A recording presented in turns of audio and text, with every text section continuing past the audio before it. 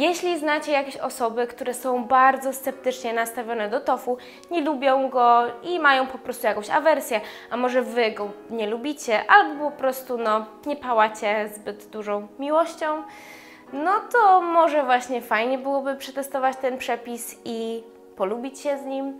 Wydaje mi się, że jesteście w stanie to zrobić i zaprzyjaźnić się z tofu już dziś.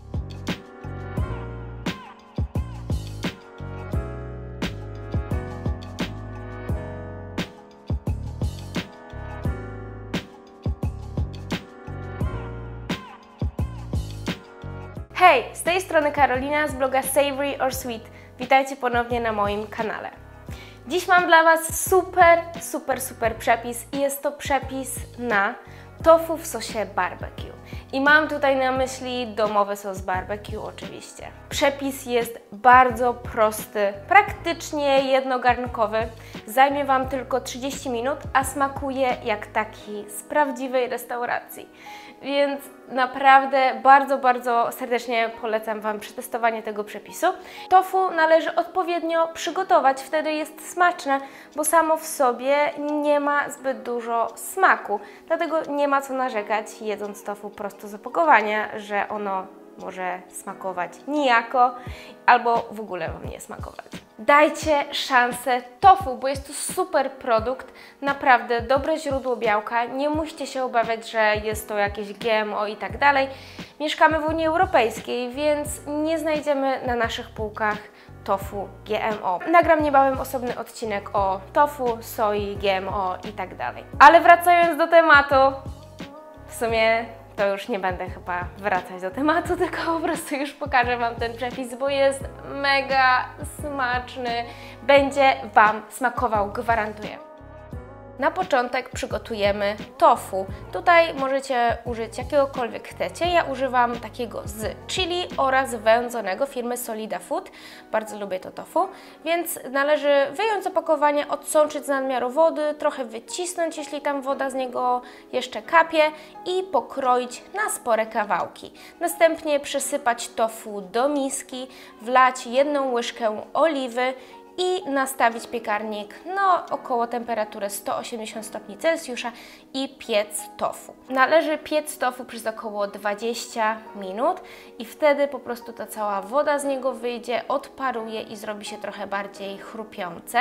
Podczas gdy nasze tofu się piecze, do małego garnuszka dodajemy jedną posiekaną cebulę, cztery ząbki czosnku oraz jedną łyżkę oliwy. Wszystko delikatnie podsmażamy. Gdy cebulka będzie ładnie zarobiona, zarumieniona, wtedy dodajemy wodę i jeszcze dusimy kilka minut, tak by troszeczkę się jeszcze poddusiła, a następnie dodajemy ketchup i zaraz pokażę Wam jakie są kolejne dodatki. Do naszego sosu dodajemy również ocet jabłkowy, syrop klonowy oraz sos sojowy. Dzięki temu nie będziemy już dodawać żadnej soli, ponieważ sos sojowy jest dość słony. Również należy dodać koniecznie wędzoną paprykę. Ja tutaj dodaję dwie łyżeczki. Wszystko dokładnie mieszamy i pamiętamy o tym, że cały czas po prostu na wolnym ogniu gotujemy ten sos. Następnie ważnym składnikiem jest melasa. Moja to jest melasa winogronowa, możecie użyć jakiejkolwiek innej. Ona zagęści nasz sos oraz doda takiego ciemniejszego koloru, po prostu takiego jaki jest w tradycyjnym sosie barbecue. Wszystko należy cały czas podgotowywać, dodać troszeczkę sosu sriracha opcjonalnie.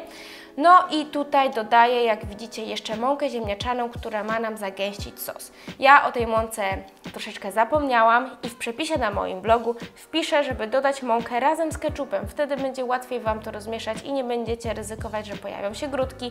Ja dodałam tutaj dość późno tą mąkę ziemniaczaną, ale Wam radzę zrobić to inaczej. U mnie to była tylko wyłącznie pomyłka. Sos gotujemy tak długo, aż jego objętość zredukuje się mniej więcej o połowę i gdy naprawdę porządnie zgęstnieje. Potrwa to około 15 minut. W tym czasie tofu będzie już upieczone, potem należy tylko wymieszać to tofu w sos i praktycznie jest to gotowe. Tofu wcześniej podpiekamy, dlatego że jeśli byłaby w nim jeszcze woda i byłoby ono bardzo wilgotne, gdy tofu będzie siedziało w tym sosie, może puścić swoje soki, może puścić tą wodę, wilgoć i przez to nasz sos by się zrobił bardziej wodnisty, a tego po prostu nie chcemy. Chcemy też, żeby tofu miało jakąś taką teksturę i by się nie rozpadało. A komosie ryżowej, uwielbiam komosę ryżową, jest bardzo dobrym źródłem białka oraz błonnika. Możemy jeszcze udekorować zieleniną i ja również radzę jeszcze do tego dania zaserwować jakąś surówkę, Waszą ulubioną lub jakieś na przykład warzywa gotowane na parze lub pieczone, obojętnie co chcecie. Ale danie samo w sobie, tak jak tutaj, wystarczająco dobrze się prezentuje i jest niesamowicie smaczne.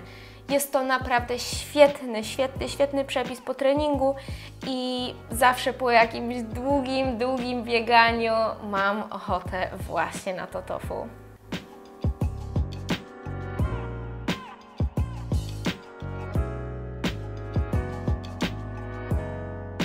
Więc mam nadzieję, że spodobał Wam się ten przepis. Dajcie koniecznie znać w komentarzach, jeśli wypróbujecie, albo jeśli będziecie mieć taki zamiar.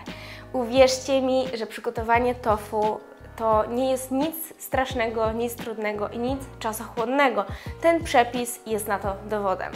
Więc jeśli podobał Wam się ten przepis, dajcie łapkę w górę i zasubskrybujcie mój kanał.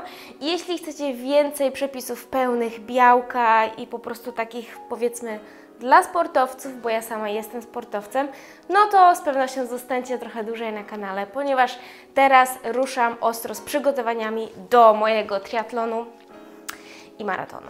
Więc zostańcie ze mną tym wszystkim. Widzimy się następnym razem. Jak zwykle zachęcam również do zakupienia mojej książki Wegańskie Słodycze, jeśli macie ochotę na coś słodkiego.